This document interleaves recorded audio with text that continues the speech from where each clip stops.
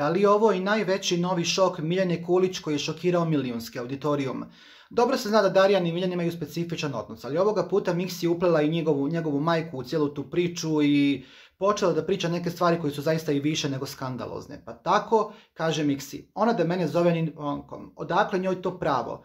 To je kao kada bi ja rekla za nju da je K govorila i ona. Perfidno se je rekla ružne stvari, prva govorio i on i branio naravno svoju majku.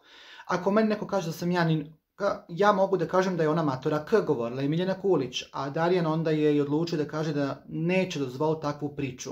Ne dozvoljavam ti to tako da govoriš u mom društvu. Prva si krenula, ne ja govorio, je on. Ne može niko da kaže da sam ja ni... govorila i Miljana. Treba da uživam. Ima 76 godina, život je kratak, ljudi umiru, govorila je Miljana, to je šokiralo Darijana pa kaže, hoćeš da kažeš da će brzo umrijeti. Ne, to si ti zaključio tako. Ja sam rekao da treba da uživa u ostatku života. Ja nikome ne želim smrt, pa ni najgorem neprijatelju govorila je Miljana.